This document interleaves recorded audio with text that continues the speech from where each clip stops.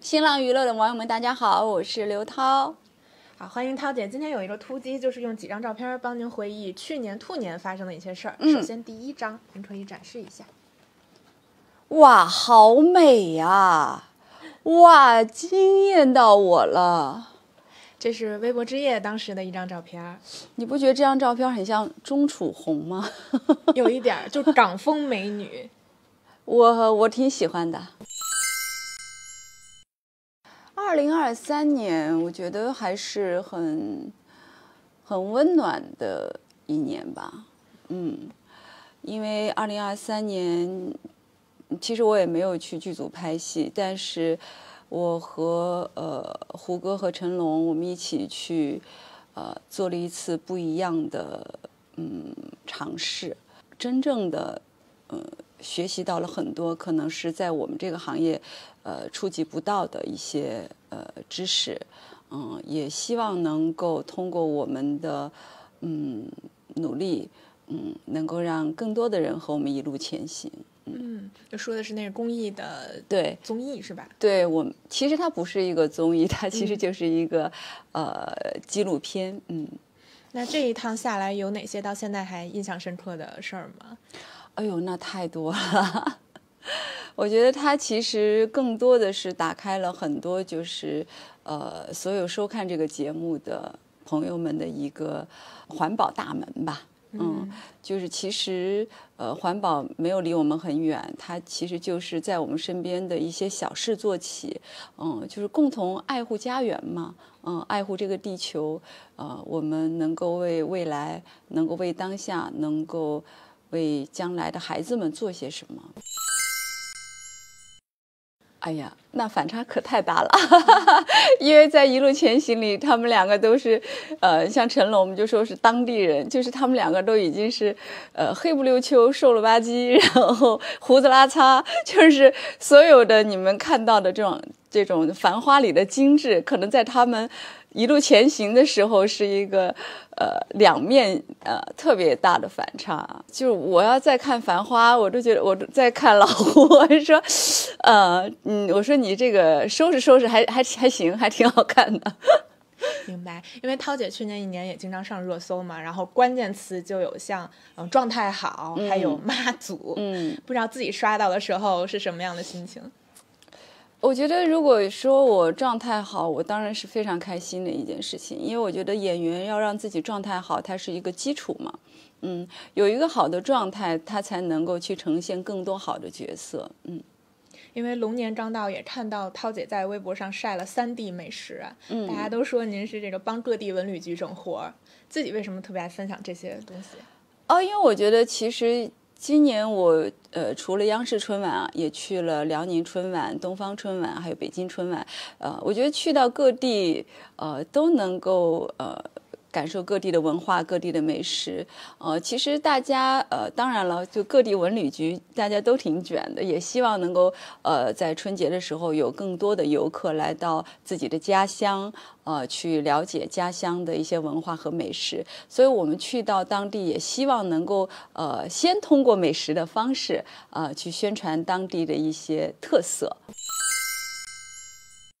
其实我过去也没有像今年这么努力的 去各个地方呃春晚演出，呃虽然在很短的时间里就这样呃跑来跑去，还是有一些些呃紧凑和奔波哈，确实是不一样的感觉。你像呃辽宁春晚呢，就客串了一下呃嘉宾主持啊。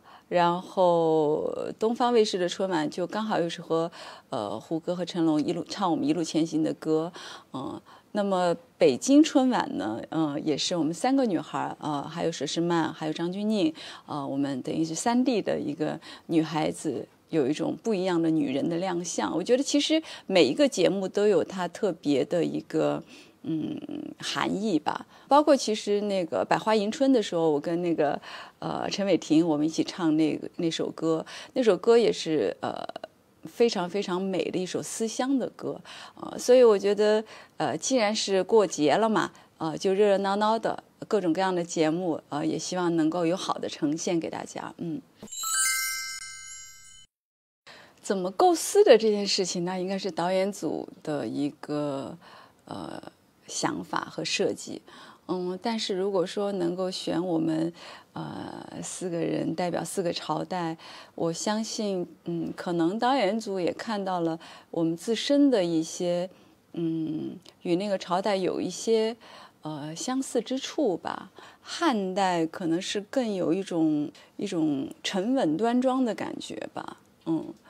因为呃，我们的这个造型设计，呃，也是呃从呃《烈女人质图》啊，然后到一些东汉的壁画，呃，去找的这个一些嗯设计理念去做的这个服饰、头饰，嗯，还有发型，呃，这个所有的都是呃导演组和设计老师。啊，去做的。那么对于我们来讲，嗯，我们就是希望能够通过自身的一种呃气质，呃，能够比较吻合，呃，那个时代的一种呈现。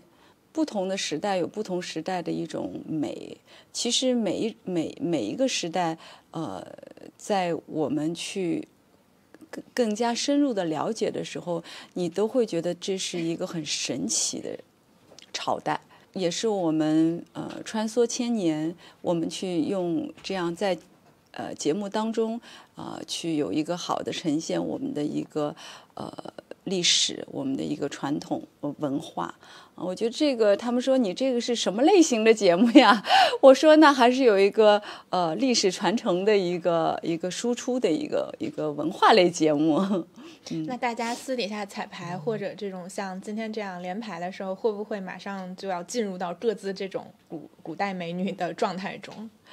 其实我们第一次那个排练的时候，我觉得那天我的状态是是是非常糟糕的，因为就是你知道吗？就这是这这是一个很很巧妙的故事。我第一次去到上海跟胡歌和成龙，我们在录我们一路前行的歌的时候，恰巧我病了。哇，那个时候我们就一直互相戴着口罩。我跟他们说：“我你们家都有孩子，千万不要被我传染啊！你们离我远一点，离我远一点。”我就一直说啊，我你们录完我再录，就就一直这样。我很害怕，因为我身体不好，把把这个病菌传染给他们。然后呢，等到我们再再聚会再录的时候，哎，我又发现我好了，胡歌病了。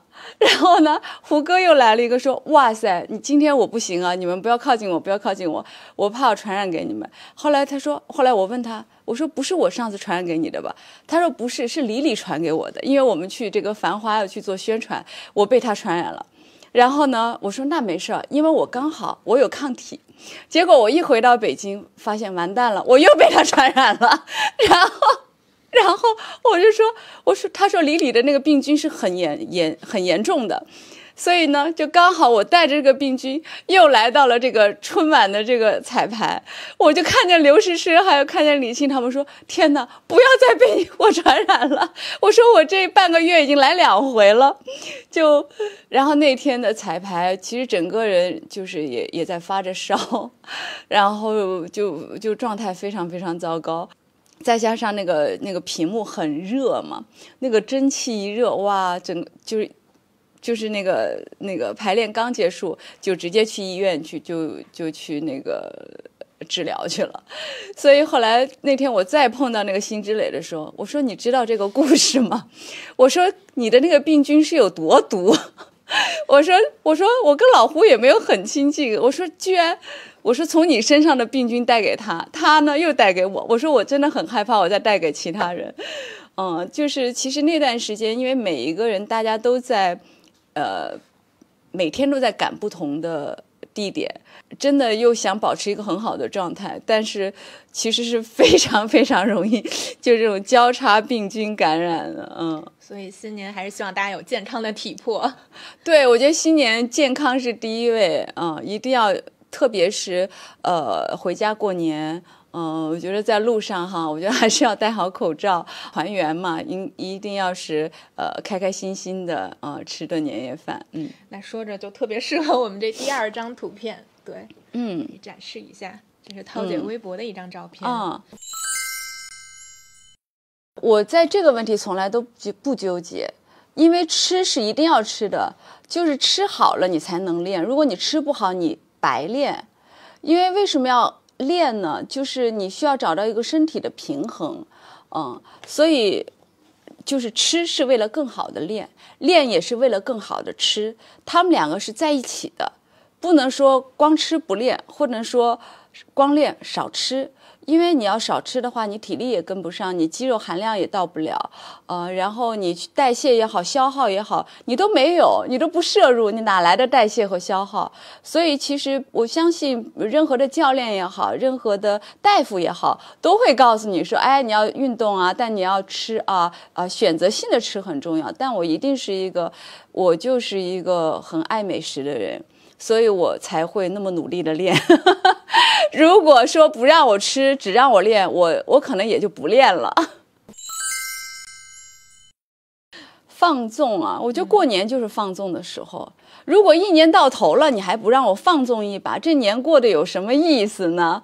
我觉得过年就是用来放纵的，就是用来吃、用来玩、用来睡。呃，除非有特别需要加班的时候，没办法，那也是为了我的人生能有哎更加积极的一面。但是我觉得，如果说能放个假的话，我最想做的就是放纵的吃，放纵的睡，啊，放纵的我想干嘛干嘛。我觉得这才有就是呃，就是安慰自己的这一年。嗯，你知道吗？一年很累了嘛，你肯定到最后那几天，它就是一个安慰的日子。嗯，那今年这个龙年春节假期已经有安排了吗？呃，还没有想到要干嘛，就想着先好好让自己睡睡两天吧。嗯，那平时如果特别累、特别疲惫的时候，也是通过睡眠来消解吗？平时特别累的时候，可能就是你没得睡的时候。如果你有的睡，你都不会觉得累了。所以我会觉得，嗯，我觉得工作当强度比较大的时候，集中一个精力，它会是也是一一个适应的过程。如果就是当就比如说人家说，嗯，呃，冲刺的时候一定是最累的时候，冲刺完了，那可能你就会去，嗯，好好的休息。但如果说在中途我的解压方式，比如说，呃，去泡个澡啊，或者说去呃美容院啊躺着，呃，真的给自己的脸啊做点 就是马杀鸡，我觉得是有帮助的。就是放松的话，就是呃呃去去美容院那么几个小时，如果可以的话，也能睡着，还能睡得挺香，呃，起来。的时候还觉得美美的，嗯，还挺放松，嗯，再不行呢就去那个叫什么，刮个痧、拔个罐、泡个脚，你总得有点就是能够放松的时候，要不然肌肉也很疲惫，嗯。我会有一部电影会上映吧，是和那个刘德华和张子枫我们一起的一部电影，嗯，叫做《危机航线》。嗯，应该应该会在上半年吧，我想。嗯嗯，这个角色有哪些不同以往之处吗？这个角色我是演张子枫的妈妈，我觉得比较特别的一点就是，嗯，终于和我的偶像合作了吧？我觉得就是这是一件很有福气的事情。其他的你要说剧透啊，我觉得应该是在呃等到电影上映的时候吧。我就希望自己也能像嗯他一样，无论在人生的哪个阶段，我都是在全力以赴的呃做着我热爱的事业。嗯，我觉得这种激情是永远不会消退的，只会越来越浓。我觉得这也是当你和偶像在一起的时候一个很好的感触。我觉得对自己也是一个呃很好的激励。新的一年啊，我希望如果今年的一路前行还有呃继续的呃要去的地方的话，我也希望会有更多的伙伴和我们一路前行。嗯嗯，明白。好嘞，然后我们下面进入有一个刮刮乐的环节，就是之前有嘉宾留下了一些任务，然后涛姐可以选一张，嗯，然后刮开来看看是什么。对，可以给我们唱歌。送龙年祝福，应该是纯纯单依纯留下来的任务。恭喜新年好呀，新年好呀，祝福大家新年好。我们唱歌，我们跳舞，祝福大家新年好。